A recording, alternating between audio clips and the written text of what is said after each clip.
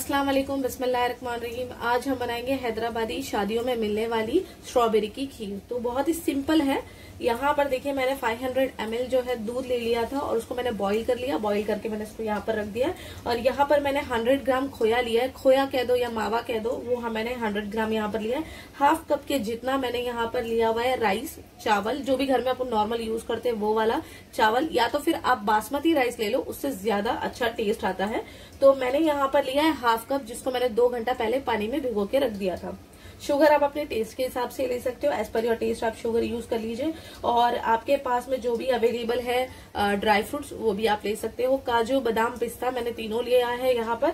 ये मैंने लिया हुआ है, यहाँ पर पचास ग्राम के करीब होगा। इसको मैंने अच्छे से काट के यहाँ पर रख दिया है। अच्छा यहाँ पर मैंने स्ट्रॉबेरी ली है। स्ट्रॉबेरी, एक कप की जितनी स्ट्रॉबेरी लगेगी। तो ये मैंने चार दिन पुरानी स्ट्रॉबेरी है। इसको मैंने लाकर मार्केट से मैंने इसको फ्रीजर में रख दिया था। तो ये फ्रोजन में यूज़ कर रही हूँ, लेकिन अगर आपके पास में फ्रेश मिलती है, अभी तो फ़िलहाल सीज़न है तो आपको हर जगह पे मिल जाएगी। ये मार्केट में आसानी से अवेलेबल होती है। तो ये आप वन कप ले सकते हो। अब इसको बनाने का तरीका बताएँगे। सबसे पहले स्ट्रॉबेरी और शुगर, इसको हम अच्छे से मेल्ट कर लेंगे। शुगर आप अपने टेस्ट के हिसाब से ले लीजिएगा और इसको हम अच्छे से अभी मेल्ट कर लेंगे। चावल है, इसको अभी हम पीस कर लेकर आएँगे।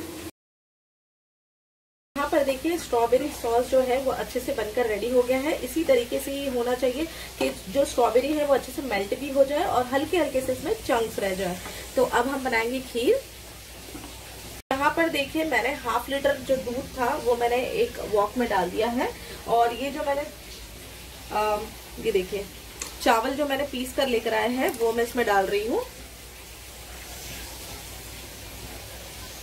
तो यहाँ पर देखिए मैंने इसके अंदर चावल जो है वो डाल दिया है। अब चावल पकने तक हम इसको अच्छे से पका लेंगे। इसमें शुगर आप डाल दीजिए अपने टेस्ट के हिसाब से। जरा ध्यान से ही डालना क्योंकि हमने स्ट्रॉबेरी में भी शुगर ऐड किया हुआ है। तो अब इसको हम अच्छे से बॉईल आने देंगे और उसको शुगर मेल्ट हो जाए और चावल जो है अच्छे से अंदर का पक जाए। और चावल भी आपने ऐसे पीसने हैं इसके अंदर के एकदम थोड़े से धरधरे हो, फिरने टाइप में एकदम इसको बारीक नहीं पीसना है। आपने थोड़े से हल्के रखना है चावल को। अब इसको पका पर देखिए राइस जो है अच्छे से पक चुके हैं। ये देखिए, अच्छे से राइस जो है पक चुके हैं। थोड़ी सी गाढ़ी भी हो गई है। खीर हमारी, अब इसमें हम ऐड करेंगे मावा। खोया या मावा, जो भी आप लोग बोल लो, ये डालेंगे। आप चाहो तो पहले जो है, मावे में दूध भी मिलाकर आप रख सकते हो, उसको पिघाल सकते हो। अब इसको हम अच्छे से मिक्स करेंगे। मावे को पिघलने तक अच्छे से पकाएँगे। यहाँ पर देखिए, मावा जो है, इसमें अच्छे से मिक्स हो गया है। अभी गैस का फ्लेम जो है बंद कर देंगे। गैस का फ्लेम हमेशा बंद करने के बाद में ही आपने ये स्ट्रॉबेरी जैम डालना है या फिर सॉस जो भी बोलो आप, वो इसमें डालना है। अगर आप चलते हुए उसमें डालोगे तो खीर जो है वो फट जाएगी। अब इसको हम अच्छे से मिक्स करेंगे और इसमें सारे ड्राई फ्रूट्स ऐड करेंगे। ड्राई फ्रूट्स भी इसमें ऐड हो गए।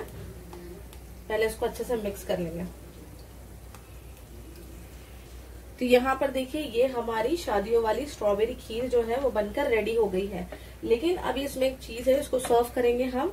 और सेकंड चीज़ ये है कि आप चाहो तो इसके अंदर इमल्शन इमल्शन होता है या फिर एसेंस जिसको बोलते हैं इमल्शन ये होता है कि उसके अंदर कलर भी होता है और स्ट्रॉबेरी का फ्लेवर भी होता है।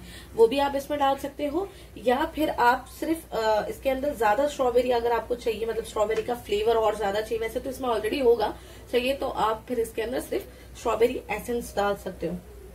बट आप चाहो तो कलर भी इसमें ऐड कर सकते हो, चाहो तो फ्लेवर भी ऐड कर सकते हो, मैंने बता दिया वो जो बनाते हैं, वो लोग थोड़ा सा इमल्शन ऐड करते हैं कि मतलब एक्स्ट्रा अट्रैक्टिव दिखने के लिए कलर भी इसमें ऐड करते हैं शुगर भी सॉरी कलर भी ऐड करते हैं और इसके अंदर एसेंस भी ऐड करते हैं। अगर आप ऐड करना चाहो तो आप ऐड कर सकते हो। अब इसको मैं सर्व कर दूँगी। यहाँ पर देखिए, हैदराबादी वेडिंग्स में मिलने वाली स्ट्रॉबेरी खीर बनकर रेडी है। तो चलिए, अगर आपको मेरी रेसिपी अच्छी लगी होगी तो प्लीज़ लाइक कीजिएगा शेयर कीजिएगा और मेरे चैनल को ज़रूर सब्सक्राइब कर दीजिएगा। अल्लाह हाफिज।